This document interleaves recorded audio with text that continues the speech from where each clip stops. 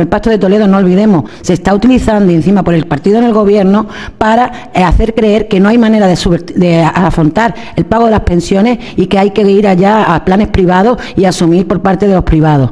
Su presidenta, la señora Celia Villolobo, diciendo por su boquita cosas como que, bueno, que ella trabaja mucho y va a trabajar muchos años, eh, la señora del Candy Crush Saga, y que encima ofendiendo a, a, la mayoría de los pensionistas, diciendo que tienen más tiempo de, de cobrar de la pensión que del trabajo. ¿Sabrá ella lo que es trabajar? ¿Sabrá lo que es trabajar con sus manos y con su espalda quebrada? Desde luego que no, porque allí en el Congreso está bastante cómoda, bastante a gusto para poder hacer nada. Que una vez más eh, desvirtúan la realidad utilizando además a personas que no se encuentran aquí físicamente, como es la señora Villalobos, de la cual me parece una falta de respeto eh, intolerable.